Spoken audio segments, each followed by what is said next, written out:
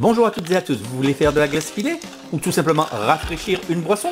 Faire plaisir aux plus petits? Suivez cette consigne. Pour réussir votre glace pilée, vous avez le choix bien évidemment d'aller directement au réfrigérateur qui s'occupe de réaliser des glaçons pilés, mais mieux encore, nous n'avons pas de réfrigérateur qui fournit de la glace pilée, nous allons prendre un torchon propre, un torchon de cuisine propre. Nous allons placer notre quantité de glaçons souhaitée à l'intérieur du torchon propre en étranglant le torchon à son extrémité, vous tapez jusqu'à 6 fois au maximum, exclusivement sur une surface dure, et vous ouvrez, vous avez votre glace pilée.